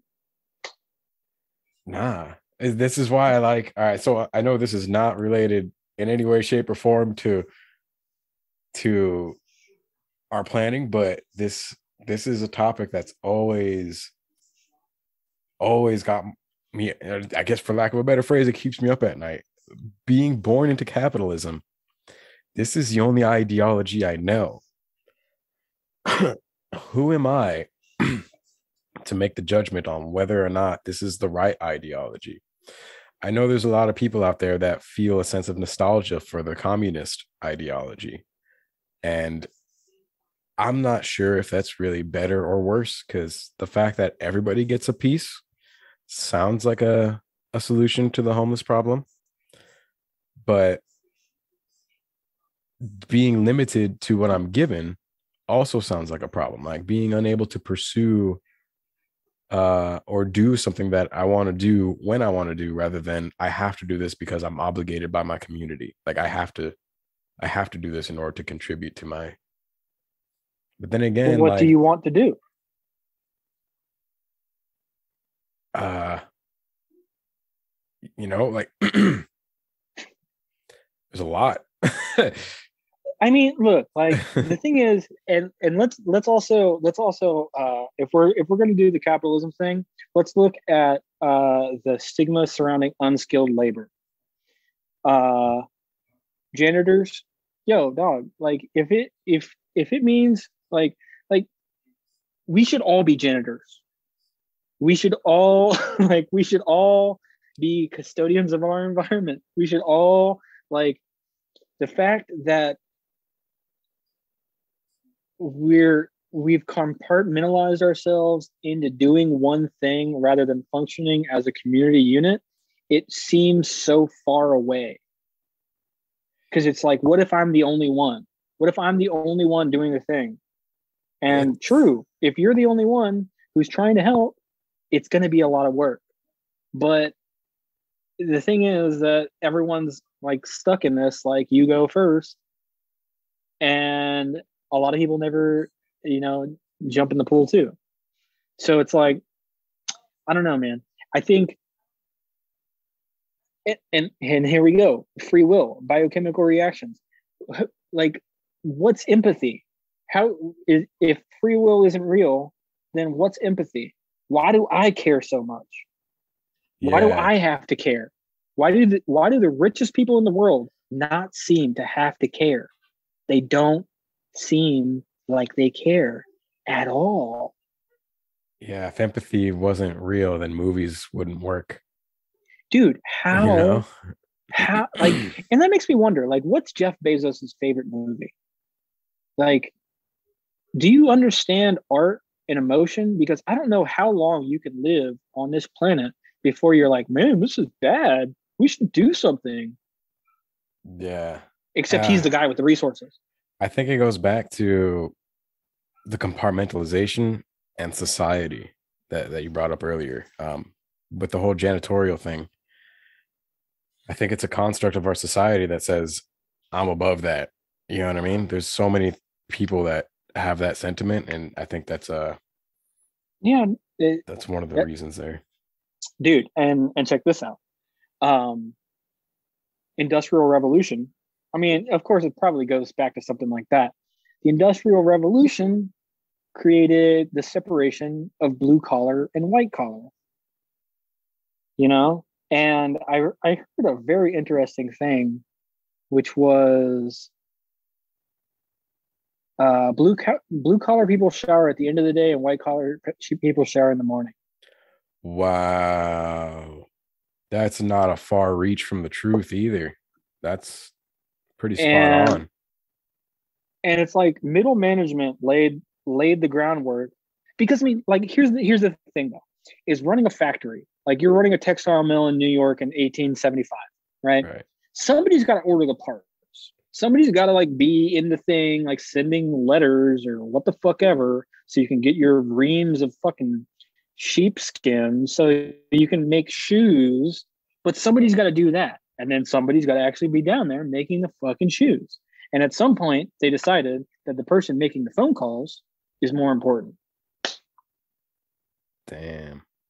Somehow, some way that was I, I get what you're saying. It's almost like a, that's how we came to look at everybody working under that as unskilled labor. Yeah, and all you have being able to it- pick up a phone is skilled. like right no, and that's mm. the thing is it's like, but you can't like you tell that guy who's been making phone calls for ten years, he's got a nice house, he calls these people unskilled. You can't go on the fucking floor and make a shoe. you'd get fucking killed. People were dying in these fucking factories. You're gonna call these people unskilled? They still, Yeah. to this day, die in factories and on docks and on train yards and all that shit. And on the fucking power lines and all these fucking things. Unskilled labor, dude, fuck off. not to i'm not endorsing the other side of the coin here but um to make the counterpoint what if this whole this whole shoemaking thing was your idea and you've scaled your business up to the point where one person can't do it alone and you need a team to, to get this done considering that those shoemakers are focusing on one solitary task while you're overseeing that they're doing their part and other branches are doing their parts as well. Um doesn't it make sense for your pay rate to go up proportionally?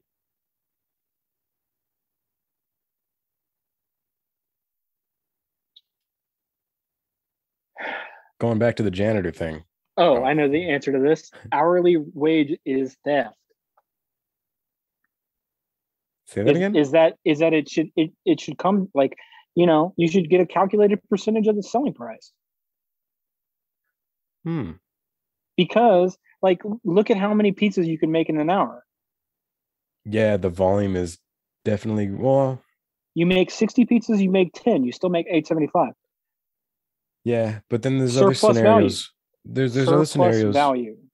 where maybe the percentage isn't as big as the No, but I mean, like, yo, if you do ten percent of the work, you get ten percent of the profit. Like, there you go. how would you do that for um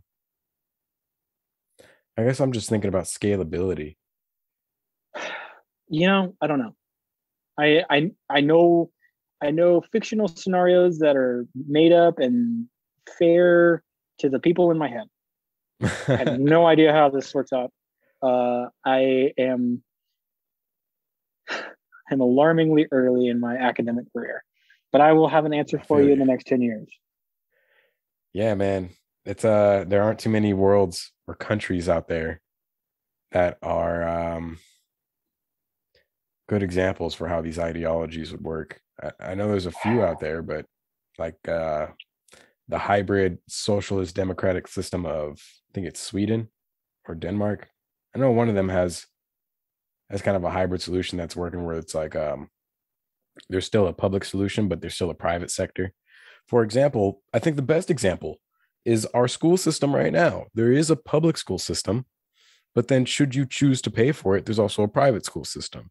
You can take public transportation, but should you choose to pay for it, you can buy a car. Right? So there is all that all that would be great if public if private schools weren't siphoning off the funds from public schools and they are so no oh I don't know how that works, so I can't charter speak on- schools betsy devos Oh, I know about the charter thing. same shit Oh shit. I, I just I assumed that they were privately funded the same way like if you buy a car, it's a, a private purchase. Um, but it'd just be education that you're buying privately instead of no you know no there's de- there de- i mean and it's like there's a whole thing about how private schools siphon off public public funds hmm. I'll look into it. yeah it's alarming Wow. Well, I guess there's gonna be flaws there. But um yeah, I think having that hybrid solution where there's a public option and then should you choose, you can go private too. If like if it's not working for you, I think that'd be a good solution for public healthcare. If the private one doesn't work I- for you, go ahead and buy the buy the buy the bot shit. i mean that is that's only under the assumption that private schools should be better than public schools public schools Yes, should be the best schools they should be the best schools the most accessible one should be the best one. I mean, in a perfect one- world. yeah But uh I mean oh, we shit, my my pods are dying ooh, yeah, it's been a long one. I didn't anticipate this. yeah you know it's been good though. Tell you yeah man Any, anytime we should do it more often Hell yeah. Well, Justin, thanks for uh going above and beyond on this planning. I don't think we did any planning. I, well, at least I told you about it. Come March, Anyway. we'll figure it out. yeah, I'll I'll look at case numbers and and we'll figure that out. I think I think right now it would be smart to put the planning on a remote. See how good we can make a remote thing. Yeah. Yeah, I really Just like the idea See how good we can thing. make it. Yeah, dude. I mean, Carol's not getting on. Who else? Like, if you if you move to a remote scenario, who else could be involved? So many more people. Oh shit, yeah, dude. Um So, like, are you really going to stake the success of this on people's ability to travel to Orange County on a Saturday? I don't think that's necessary. yeah, I'll bring that to Yumi's attention too, because that's a that shit, that that hybrid session where it's like happening here, but you get a link type shit, but it's still like it really happened in person. Or not in person, but like the, the conversation really happened. I mean, dude, just do it like it webinar style, where like we all speak like individually as speakers, and then do a panel. So we just address the crowd in person. Oh, okay. Yeah, that works too. Uh that's a I don't, I don't I'm not sure if crowd participation was gonna be a thing. No, no, not not like participation, but just like we speak about the the gallery, right? Our own Mhm. thing for like 10 minutes. And then we all like do a little roundtable after that in context. So it's live. So it has a live thing. And then we can show a pre recorded thing. We can give them a link to a pre recorded thing. Oh. Okay. That's yeah. I, I think that if if you just if you make the plan to do it remote, we can like build so many cool like takeaways and things that people can like get into, like participation and yeah. yeah, that's dope. Uh there's definitely more possibility in the remote setting for sure. Uh I guess I'll run it by Yumi. Anyway, um, yeah, for sure. Tight. Well, All right, bud. Stay safe real. out there. likewise. I'll, I'll talk to you soon. See you later. Peace.